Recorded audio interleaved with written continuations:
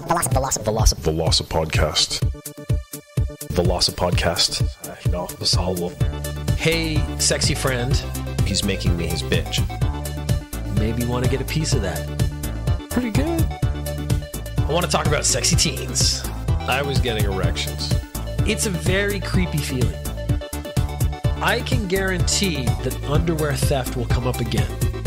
None of this is relevant. Pokemon, Pokeballs. 750 milliliter bottle of rum. Welcome to the Velocity Podcast, a study in monology. This is your grumpy Uncle Peter. He will say words at you. One of my favorite Greek, I think it's Greek. I don't know. I only know the story. I don't know where it cam- comes from. I think it's Greek. Most of these stories are. I think the name is Phoebe. Maybe it's Persephone. But it might just be Phoebe. The story is that Phoebe, as a gift, was given the ability to predict the future, see the future with accuracy, and be able to like predict what people are going to do and stuff. But then one of the gods, probably a goddess, got annoyed at her, probably for being good looking, because there's a lot of jealousy in these stories.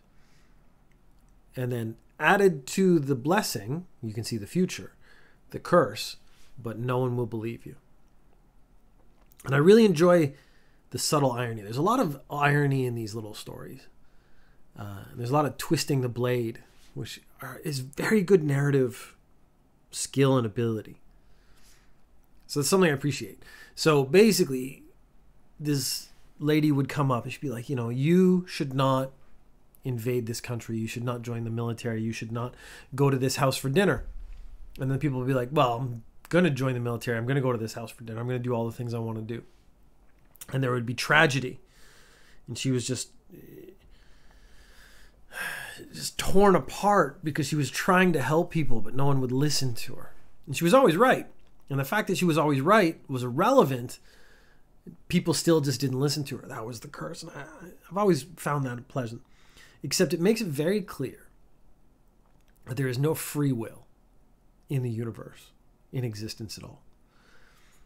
Now, I recently had an experience, and I had been down in a bad mood for about a week. And last week I went to the doctor. And one, one of, basically the only thing that happens when I go to the doctor is like a checkup. So they take some blood, and they and they tell me uh, what's going on inside my body, which is interesting because I get regular updates as to what's happening in my body, which you know normal people don't get. Uh, I'm basically okay, by the way. So I went into the doctor's office. So they, they have to like check the blood, and then I go in, and he didn't look at me, and he looked at the chart, and he goes, "You've been working out." I was like, "Well, you didn't look at me, so it's not like I." have put a more impressive presence in the room. So clearly it's something to do with my blood. I was like, yeah, I've been trying to do chin ups and stuff. I haven't been able to do judo, so it's it's been tough, but you know, kind of humming and hawing my way through that. He goes, okay. I was like, "Mm, no, you can't. You can't just say something. A doctor cannot say something pointed and then just move on if it's not an issue. I also should have said no, I haven't been, and then see what he says. I guess that would be actually be the answer. He's like, oh, because then this happened. So I go, no, no, why did you say that? He goes, oh, well, just your creatine levels are quite high. So when he showed me my blood work, uh, the creatine, it had an H next to it. That's how you know it's high. Uh, I don't think you actually need to be a doctor to figure that one out. But anyways, and I looked at the previous times I'd been to the doctor because it actually puts about five, six columns, so you can compare your previous blood test to your current blood test. And yeah, my creatine was like pretty high, and I had been working out harder. I can't say hard compared to how I used to work out. This is not hard at all. It's not even like a question. I basically used to do judo for like two, three hours, and I would be unable to exercise for a couple of days because it was so hard. I had such a such a beating. So then I went home, and so because he mentioned creatine specifically, I was like, well, I don't know. I don't really know anything about creatine. I know like weightlifters and stuff take creatine. It's supposed to give them that extra. They get one more out because of it. So I went online. I looked up what are the what are the emotional effects of creatine because I'd started to put something together. And it said creatine can produce uh, depression and mania. So mania, I think in this case is when you're super happy and super sad, super happy. So you just go up and down really fast. You basically have no control over your emotions. But I've been in a bad mood consistently, and this fit with the uh, depression that came from the creatine, which related exactly to something I'd said earlier to a coworker, is that we don't have feelings. We have chemicals in our brain. Now, maybe something happens and our body produces the chemical, but at the end of the day, we are just chemical reactions, which goes in line with we have no free will. Because an advanced enough computer could model the chemical reactions in your brain, therefore, predicting your feelings, your mood, and uh, what events and stressors cause what chemical reactions in you, and then be able to then very quickly be able to predict how you react to things, therefore, building a model on which to predict your behavior and accurately predicting everything that happens to you in your life from that point onward. And if the computer got, you know, complicated enough, advanced enough, it could take in other people and then the cross interactions of those and how they affect each other and what happens. Then you now could model out what's going to happen to all of society in the world forever and predict the end of the world. You could predict, you know, what's going to happen in a thousand years, all that kind of stuff. Because we don't have free will. But then, since it's predictive, we end up with the Tom Cruise movie. This was kind of the premise, and I can't remember the name of the movie. Minority Report. In Minority Report, you get arrested for crimes before you commit them because of a, a predictive algorithm. It's actually like, I think in that movie, it's like psychics or something in baths, which is a pretty science fictiony thing. But like if you actually think about it, the way I'm talking about it, if you had blood work and then could actually monitor people, just if they had their phones with them all the time, off you go. You could create your models, and from your models, you could just say, "Oh, Peter is going to kill this guy next week. We should arrest him now. If we arrest him now, everything's going to work out." So I realized again, this this brings us back to there's actually no free will. Free will does not exist. Everything is predetermined in a way. We just don't understand the predetermination. Therefore, we think we have free will when in fact we're just having chemical reactions. So, how do we attain free will is actually the question. How do we claw back the ability to control our own lives from this future? And it's actually really simple because as long as we don't know the predetermined nature, we do have the option of choice or the illusion of choice, but then our brains will accept that that choice exists, and therefore we live in a world under free will, even though it doesn't exist. So the solution is quite simply to kill Tom Cruise. If we kill Tom Cruise, he will never be able to arrest us for crimes we haven't yet committed, therefore, maintaining the illusion that free will exists. But it doesn't. Because you're just chemicals. And so if you're annoyed by what I just said, that's just a chemical in your brain. You're not actually annoyed. If you found it vaguely amusing, you're not actually vaguely amused. It's just a chemical in your brain. Uh, if I'm depressed next week, and maybe it's because I'm working out again and my creatine levels have shot up, I actually didn't look into what the solution to that is, though. Because there should be either another chemical I can kind of try to get to happen in my body, or my weird instinct is I'm going to work out so hard that that creatine then becomes the baseline and my mood adjusts to it naturally. So that this much creatine in my body is my mood, like a normal mood. And I would need even more creatine to have the uh, depression or mania. But I don't know. I don't know. I don't know if that's going to work. I am going to try to work out harder though, because I'm tr- I'm just getting myself back in shape. I was hoping to go back to judo, but coronavirus is not gone. Omicron. Since we're talking science fiction, that is a science fictiony name, and I really wish scientists would kind of like not name it something kind of cool sounding. It's the Greek um, alphabet, but it, it doesn't matter, man. It's Omicron is a great name for a fictional disease that ruins the world. So I had a couple of stories to kind of round this out. Uh, and one of them I was incredibly interested in. So this is from Twitter, and it is about how Instagram has created a new feature for their phone. The other feature is something that we call Rage Shake. Okay, first let- let's just stop right there. Uh, I am an amateur podcaster. I do this as a hobby. I've put in a minimal amount of money. So I've done no soundproofing to my room, but I have just found a small room that does not echo. It's my bedroom. Uh, I was thinking about oh, I could put some blankets up on the walls and stuff that would stop any echo.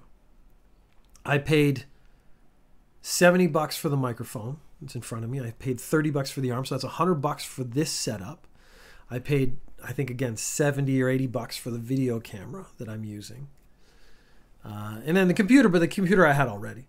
So I spent $200 and this is the sound quality you're getting. This dipshit over here works for Instagram, which is owned by Facebook, one of the richest companies on the planet. He, I guarantee, makes a sum of money significantly higher than my own.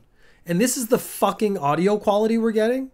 You couldn't, you know, get yourself in a room or put up some, like, you just put up some blankets, it'll soundproof the room or pillows. I mean, you don't need to do much. Get a fucking lapel mic. I have those. Here you go. Dude, I will lend them to you next time. Just call me. This is offensive. It's offensive.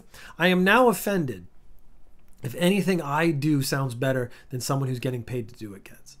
Because if you're getting paid, there should be a base expectation that you do better than me. And if you're not doing better than me, and this audio on this clip right here is not doing better than me, go fuck yourself and you should be fired.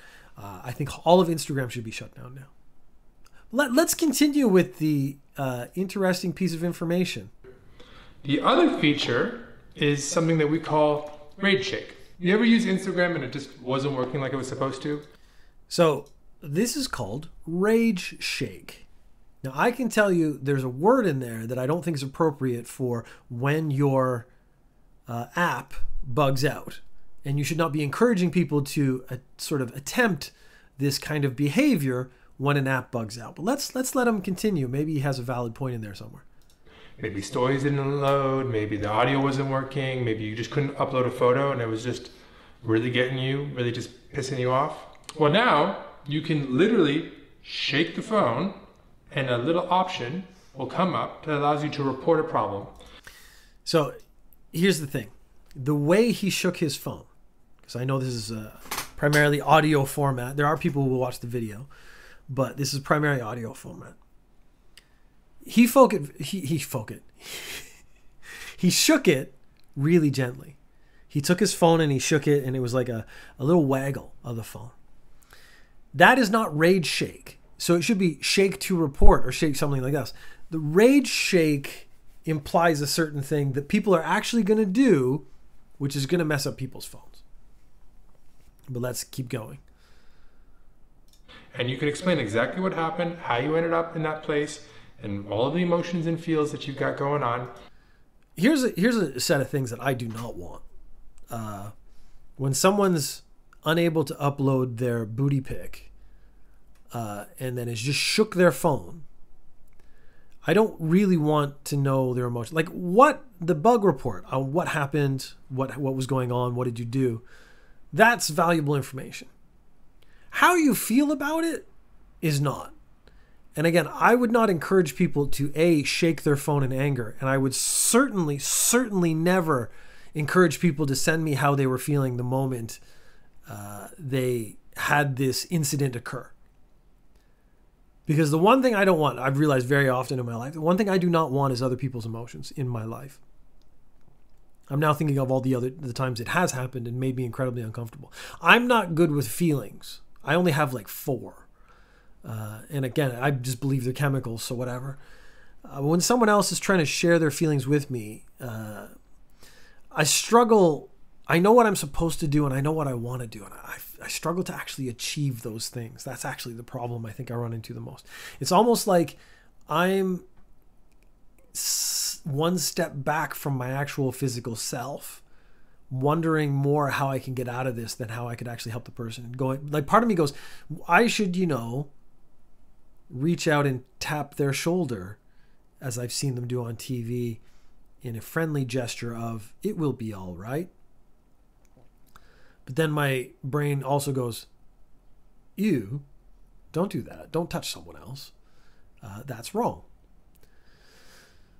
So, what is going to happen now? I'm going to use Instagram because I do upload clips to Instagram on occasion.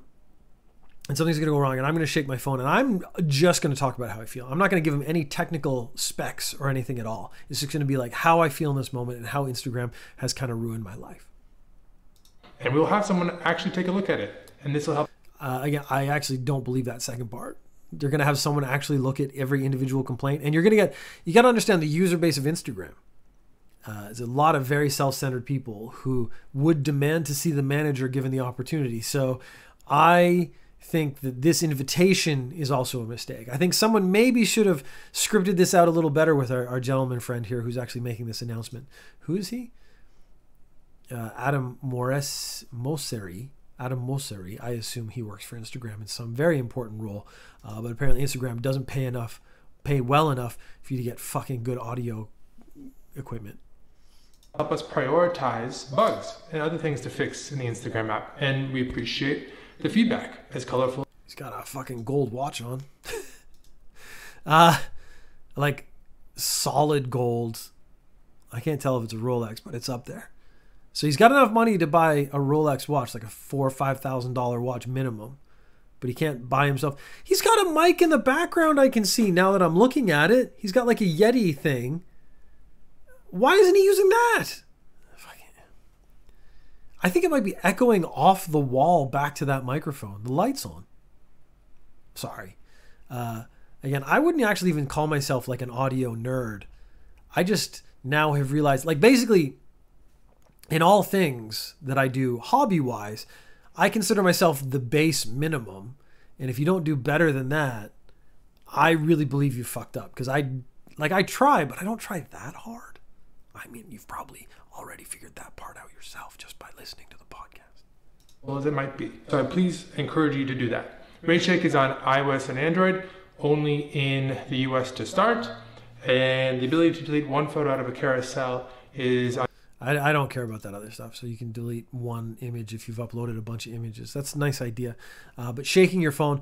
The other thing that they didn't mention is people just jacking their phone as hard as they can are absolutely going to send that phone flying out of their hands into someone else. Who's responsible for that? Because the app has actually told me to shake my phone if I lose control of my phone and it hits someone else. Is it my fault for shaking the phone or is it Instagram's fault for telling me to do that in the first place? I'm going to wait for the lawsuit and see what happens. Here's a great piece of dumbassery. Uh, conservative MP Nick Fletcher, best known for being really bad about trying to fake visit his own constituents. Uh, that's a different story, but I'm not going to click on it right now. Recently led a parliamentary parliamentary debate for the International Men's Day. I talked about International Men's Day, I think, on the uh, last um, Loss of Podcast episode, where I was talking about how you know it, it's about equality and, and true equality and, and people actually like trying to uh, lift women up uh, without pushing men down and actually dealing with men's issues sensibly. This undermines that kind of shit. I was trying to be really sincere, and I think this undermines it right away because you'll end up hating this guy for being a man. Uh, advocate for better mental health support for men. Roughly three quarters of the people who died by suicide in the UK in 2020 were male, or anything actually useful instead of being a cudgel used by clueless people to complain when it's International Women's Day. Instead, Fletcher took the chance to rail against these so called woke initiatives, which again, yeah, I agree this is stupid. Perceived existence of toxic masculinity, which I, again, I am a part of. I grew up in it. I believe it's a thing. Uh, I actually believe part of it has a role in society, but we have to uh, balance it and manage it. And the greatest that threat facing every single man in Britain today Jodie Whittaker, a woman, being Doctor Who. So every male character or good role model must have a female replacement. And it's not just James Bond. So there was a story a while ago about uh, the, this was going to be the last Daniel Craig James Bond movie, and the next James Bond was going to be someone else. And everyone went to Idris Elba, which would have been great. Uh, 10 years ago because they want to do like a franchise. They want to do multiple films with the, the next James Bond. He's a bit old. So he's I think he's getting closer in his 50s or 60s, which means it's to be 60s, 70s when they get to that last movie. It's not really a feasible thing anymore. When I've always enjoyed because they're fictional characters, I've always enjoyed flipping them. So when they made my favorite one so far has been Miles Morales. When they made Spider Man a little half Mexican, half black kid, uh, and then the fans of Spider Man went ape shit. I loved it. I could not get enough. Peter Parker is Spider Man, and Peter Parker's white, but Peter Parker's not real. So is he? Because I actually, if I had been in control of this, I would have had him be Peter Parker and just changed him to a little black Mexican kid. I would have kept the name. I wouldn't have changed it to Ben. I would have done anything else. I would have been Peter Parker is now a black Mexican kid. And we're going to sort of reboot the series.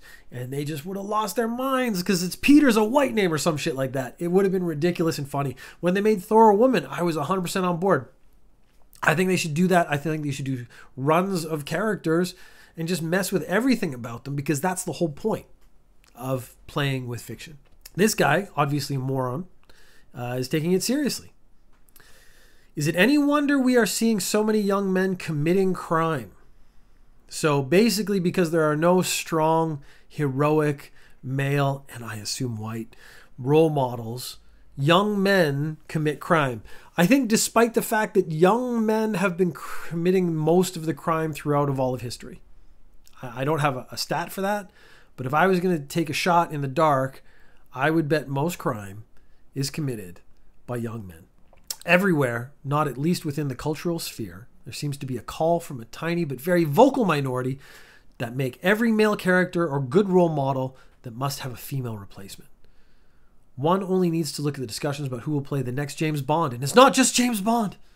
In recent years, we've seen Doctor Who, Ghostbusters, Luke Skywalker, The Equalizer, all replaced by women. Uh, Doctor Who, she's actually quite a good Doctor Who.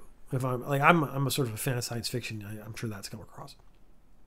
I actually think the writing has suffered a lot in the last couple of series, where now it basically doesn't make any sense. I've lost interest in Doctor Who, not because it was a woman. I've lost interest because the writing has gotten poor. Uh, Ghostbusters, the reboot, I uh, was not a fan. Uh, I wasn't didn't really care about the original Ghostbusters either. Either Luke Skywalker, has been replaced by a woman. I don't know that story. I don't know where that came from. The Equalizer, I realize, is now on a, a TV show with Queen Latifah, and I was gonna watch it and then didn't. And it's not because Queen Latifah's in it. I'm just like, ah, The Equalizer was just a mediocre show at best in, in the, the beginning, and I'm sure an update to it has not done it any favors. Men are left with the Krays and Tommy Shelby, so criminals. Fletcher continued, referring to presumably the 2015 Hardy movie Legend about the criminal Kray twins uh, and the BBC period crime drama, crime drama Peaky Blinders, revolving around the crime families of 1900s Birmingham. Is there any wonder why we are seeing so many young men committing crime? Again, a stat there would change this whole discussion. Is that accurate? Is that true? Has it changed from before? I bet before it was all young men committing crimes. I bet it's still young men committing crimes. Shut up. Is probably the what I actually want to say to this guy. So then he comes out, of course, like everyone does. Everyone, of course, now is saying this dude's an idiot, and his argument's like pathetic, just like I just did. He comes out and he says, "I did not link a Doctor Who being female to crime being committed by men," which is exactly what he did. Despite being, in fact, I was making a statement that boys and young men also need positive role models within media, just as women do.